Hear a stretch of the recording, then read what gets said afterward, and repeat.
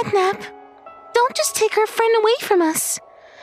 By keeping him asleep, he avoided the only one who could stop him. But it made him join his twisted ideas and his false god. We not only lost our leader, but, but also our friend. You did it well, DogDay. But I killed her. She was a heretic. She deserved it. The prototype, it is proud of you. Well done. Calm down, Day. That was a good hunt. And that will make a good sacrifice to the prototype. Now sleep. I don't feel well. My body feels tired and sore. I no longer know what is real or nightmare.